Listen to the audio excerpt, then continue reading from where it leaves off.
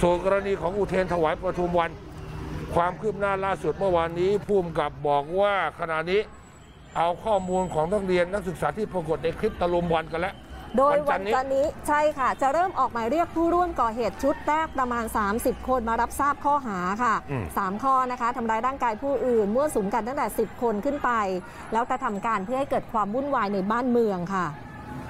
แล้วก็มีข้อมูลนะคะ การสืบสวนก็พบว่าเหตุการณ์ที่มันเกิดขึ้นเป็นเหตุการณ์ซึ่งหน้า มีรุ่นพี่คนหนึงเป็นอดีตนักศึกษาพารุ่นน้องเดินข้ามถนนอืมแล้วไปเจอกับกลุ่มคู่อริ หลังจากนั้นก็มีการตะโกนท้าทายกันจนเกิดเหตุการณ์แบบนี้ค่ะ ใช่เหรอ เพราะถ้าถามจากไรเดอร์เนี่ยไรเดอร์ไรเดอร์ซึ่งกลายเป็นพลโดนลูกหลงคอร้ายนี่บอก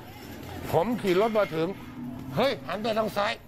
ยืนเรียงหน้ากระดานข้างหนึ่งหันไปทางขวา เรียงหน้ากระดานอีกข้างหนึ่งนึกว่าถ่ายหนัง ค่ะ สุดท้ายวิ่งเข้ามาตะลุมบอลแล้วตัวเองโดนเจ็บหนักมันใช่เหรอ นี่เหมือนนัด